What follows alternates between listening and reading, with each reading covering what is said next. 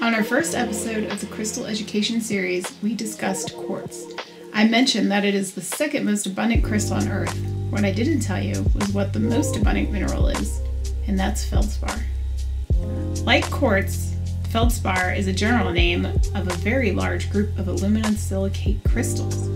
The group is so large it's estimated to comprise as much as 60% of the Earth's crust. While the word feldspar may not conjure any specific images of crystals in your mind, you've probably seen many examples of various types of feldspar. Sunstone, larvikite, amazonite, or moonstone, to name a few. But today we will be discussing my favorite crystal in the feldspar family, labradorite. Labradorite is considered a phenomenal gemstone.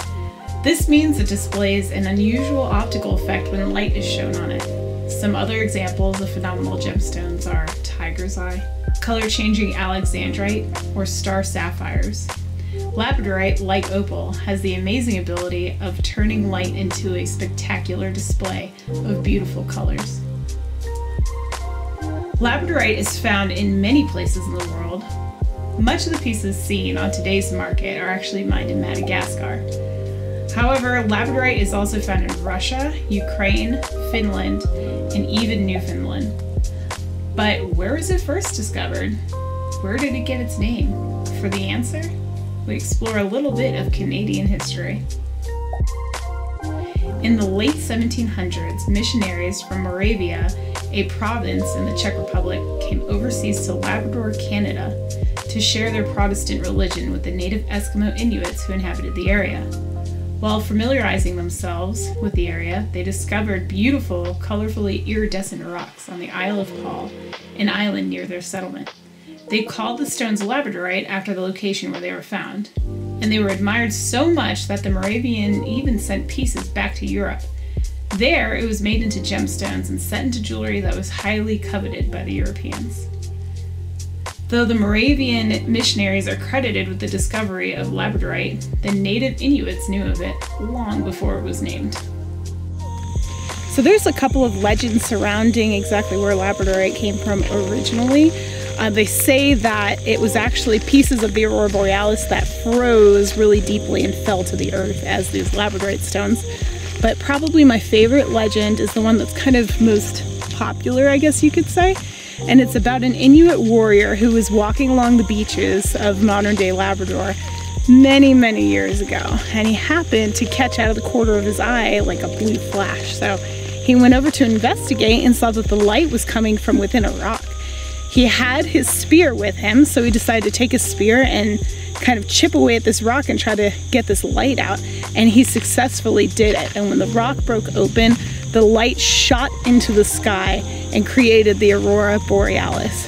And just enough of this light has been forever encased in all of the stone that it is just in these stones for all time. It's easy to see why the legends about labradorite compare it to the aurora borealis. Turn it a certain way in the light, and the stone reflects colorful shades of blue, green, teal, purple, orange, yellow, pink, and a display known as labradorescence.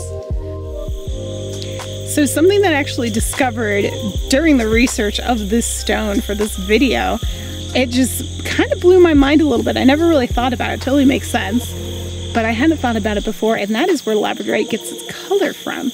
And in order to understand that, we have to talk a little bit about light refraction. So, a lot of people are familiar with prisms, and that is exactly what light refraction is. It is when a light comes through the atmosphere from its source and it passes through a translucent or transparent object. So, what happens is as it enters that translucent material, the light wave slows down, it might bounce off of uneven surfaces, and it breaks the light apart. So whereas it comes in as a pure white light, it gets broken apart into a visible light spectrum, and that is how you see different colors refracting back. You have seen this in nature with rainbows. It's a very easy example. Um, you've seen it perhaps in a parking lot on an oil slick. And you may have even seen it in other gemstones. This happens with Australian opal. It also happens sometimes with quartz. You see little rainbows in quartz. And it is a very, very strong example in labradorite. So the whole spectrum of colors that you may see that's bouncing back at your eye, that is just, that's light. It's not actually the color of the stone. It is it is the light that is getting refracted within the stone and sent back to our eye. And depending on how much material the light transfers through, how thick that material is, how much it, the light gets bent, that's going to determine what color we see when the light comes back at our eye. So that is why labradorite can have a whole, you know, the whole spectrum of colors. There's a variety of labradorite on the market that displays exceptional, bright, and heavily saturated colors. This variety is known as spectrolite. Spectrolite is found in only one location, Finland, where it was originally discovered when soldiers were unearthing stone material to create a physical barrier between them and their enemies during World War II. Today, feldspar is an important ingredient in ceramics and pottery. It's also used in fiberglass insulation, plate glass, and some paints and plastics. Feldspar is crushed down to be mixed into these various applications.